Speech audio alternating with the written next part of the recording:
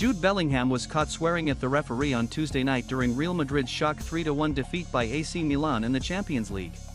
Having lost the first El Clasico of the season 4-0 a little over a week ago, Madrid was torn apart by Milan on Tuesday. They have now conceded seven goals in their last two matches.